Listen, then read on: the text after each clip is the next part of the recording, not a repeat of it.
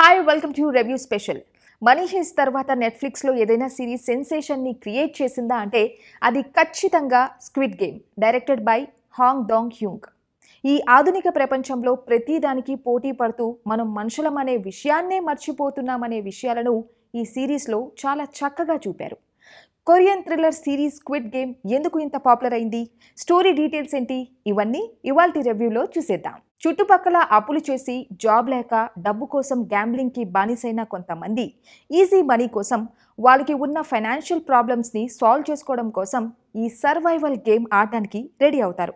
కాకపోతే వీళ్ళని గేమ్లోకి ఎవరు ఎందుకు తీసుకొచ్చారు అనే విషయాలు ఎండ్ ఆఫ్ ద రివ్యూలో తెలుసుకుందాం. ఆర్థికంగా కష్టాల్లో ఉండి ఏ దారి తోచని నాలుగు వందల యాభై ఆరు మెంబర్స్ ప్రైజ్ మనీ కోసం గేమ్ ఆడడానికి రెడీ అవుతారు.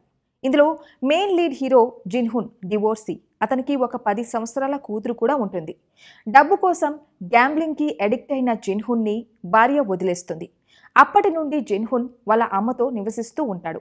నెక్స్ట్ క్యారెక్టర్ శాంగో బాగా స్మార్ట్ పర్సన్ అతను ఒక బిజినెస్ స్టార్ట్ చేస్తాడు. కానీ బిజినెస్ ఫెయిల్ కావడంతో అప్పులు చేసి చాలామందిని మోసం చేశాడు. శాంగోని పోలీసులు కూడా వెతుకుతూ ఉంటారు. శాంగో వాళ్ళ అమ్మ తన కొడుకు ఫారెన్లో ఉన్నాడని మంచి పొజిషన్లో ఉన్నాడు అని ప్రౌడ్గా ఫీల్ అవుతూ ఉంటుంది.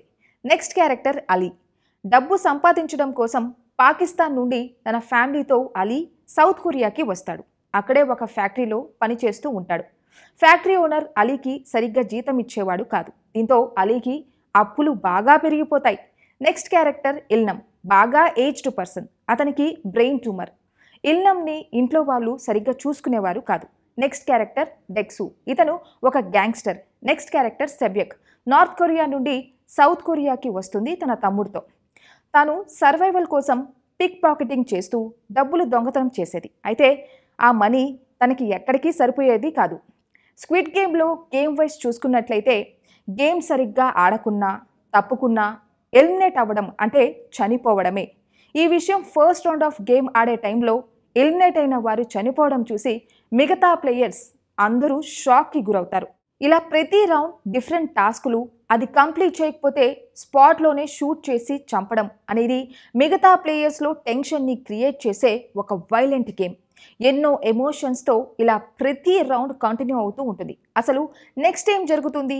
ప్లేయర్స్ గేమ్ ఎలా ఆడుతారు? ఈజీ గేమ్స్ అయినప్పటికీ ఎలిమినేషన్ అంటే చనిపోవడం అనే ఒక భయం అటు ప్లేయర్స్లో ఇటు ఆడియన్స్లో ఫుల్ టెన్షన్ని క్రియేట్ చేస్తుంది. గేమ్ ఆడే టైంలో ఎమోషనల్ బాండ్ని షేర్ చేసుకున్న ప్లేయర్స్ తన దాకా వస్తే మనిషి ఏమైనా చేస్తాడు అనే ట్రూత్ని డైరెక్టర్ ఎంతో చక్కగా చూపాడు. ఇంతకీ ప్రైజ్ మనీ ఎవరు గెలుచుకున్నారు? గేమ్ లాస్ట్ రౌండ్ వరకు ఎవరు రీచ్ అయ్యారు అనేది తెలియాలి అంటే వెబ్ సిరీస్ చూసి తెలుసుకోవాల్సిందే. టోటల్ నైన్ ఎపిసోడ్స్లో ఎక్కడా కూడా మీకు బోరింగ్ అనిపించదు. కాకపోతే లెందీ అండ్ స్లో అనిపిస్తుంది.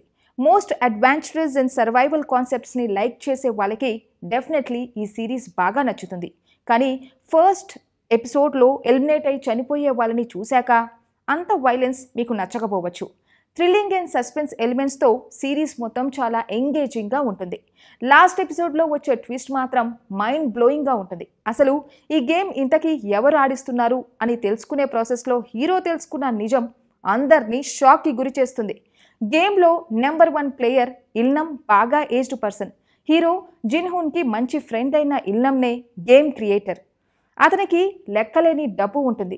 లైఫ్లో ఏం చేయాలో అర్థం కాక ఇల్నమ్ అతని క్లయింట్స్ ఇలా ఒక గేమ్ని డిజైన్ చేసి మనుషుల ప్రాణాలతో ఆడుకుంటూ ఎంటర్టైన్గా ఫీల్ అవుతూ ఉంటారు. స్క్రీన్ ప్లే చాలా స్లో అయినప్పటికీ సిరీస్ మాత్రం నెట్ఫ్లిక్స్లో ట్రెండింగ్లో ఉంది. ఇంకా స్క్విడ్ గేమ్ చూడలేదా?